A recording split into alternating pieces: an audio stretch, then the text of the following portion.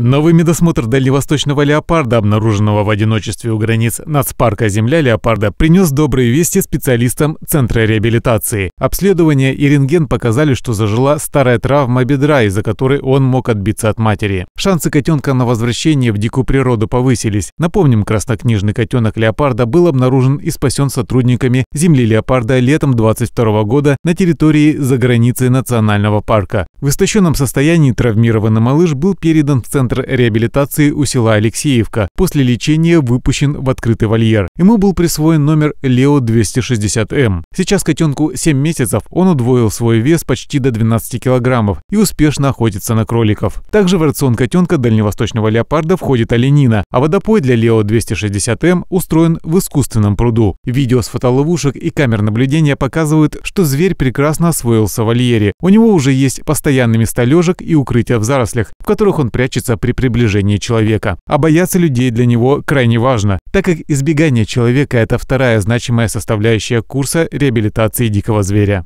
Олег Завьялов, новости на восьмом.